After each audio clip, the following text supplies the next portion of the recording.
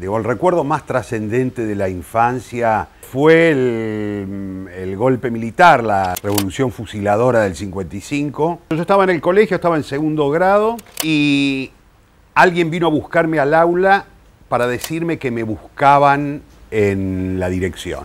Y era mi viejo que se había asustado por lo que estaba pasando. Veían además los aviones que estaban pasando. De hecho, habían comenzado ya los, los bombardeos. Mi viejo me había venido a buscar con su coche, que era un viejo Pontiac. Me subí al coche y me fui como en el medio de una película de guerra, ¿no? Con el tiempo lo que me di cuenta es que fue el momento, el punto de inflexión en el que la realidad del mundo entró en mi vida privada yo viví una, una, situación que hasta el día de hoy me conmueve recordar. En el año 61 estábamos de vacaciones en Mar del Plata con mis viejos. El hotel se llamaba Astoria. Y cruzando la calle el viejo Club Puerredón, el Club Mar del Plata, que ese año se incendió. Vinieron con la noticia de que había que desalojar el hotel. No teníamos dónde ir salvo el departamento de una tía mía que estaba a la vuelta.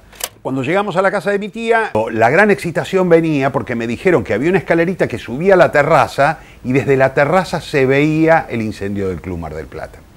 Me subí por una escalera que había y me fui con mi camarita llevar. Fueron las cámaras de plástico que popularizaron la fotografía entre la clase media y desde allí pude sacar las fotos del incendio, las imágenes de esa tragedia sacada desde la terraza de la casa de mi tía.